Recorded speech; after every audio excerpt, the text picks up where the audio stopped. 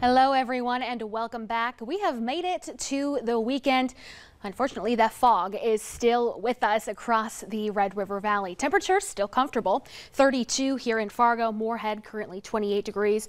Visibility being reported at the airport right around 8 miles, 4 miles in Grand Forks. However, that's readings at the airport and right over the Red River as seen from East Grand Forks. The sun is trying to peek through at least a little bit.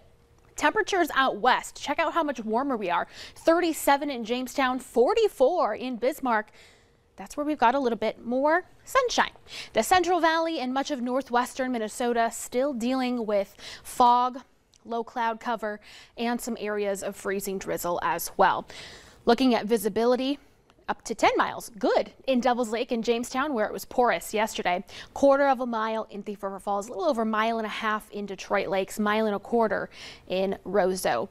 Here in Fargo, temperatures dropping into the 20s tonight. We're not going to stay steady around 29 to 31, 32 degrees. We'll actually be falling tonight.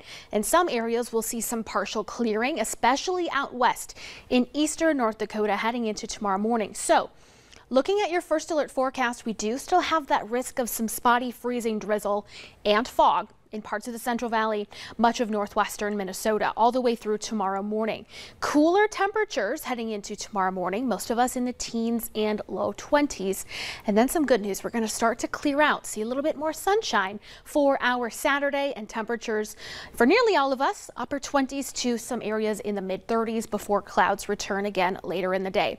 Here's a look at your hometown forecast 7 a.m if you're out that early on a Saturday morning. 18 in Langdon, 19 Devils Lake, 22 in Fargo and Detroit Lakes. In afternoon temperatures, with the help of some more sunshine, almost all of us are going to be in those 30s, a little warmer to the south.